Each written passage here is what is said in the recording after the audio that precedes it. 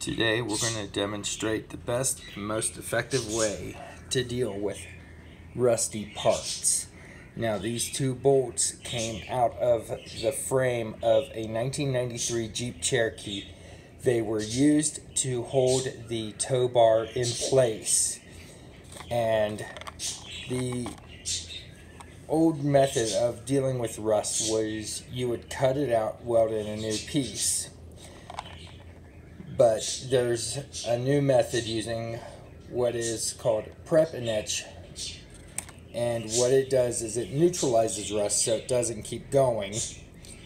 And once it's neutralized it then leaves a zinc coating on the bolts or the parts. So in this case it's going to be bolts so that they don't rust again.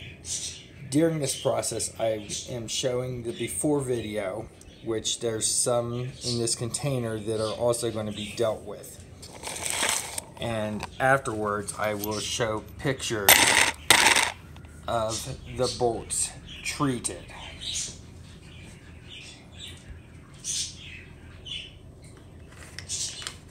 So I'm getting ready to pour in Prep and Etch, which contains phosphoric acid and I've never had a problem with this overeating the metal, so to speak, or destroying the metal to the point where it's no longer usable, unless there was too much rust, which in that case, you shouldn't be reusing the parts anyways.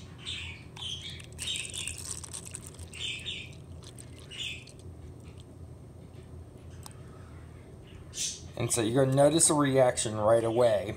And that reaction is that the phosphoric acid is starting to neutralize and remove rust from the parts that are inside the container.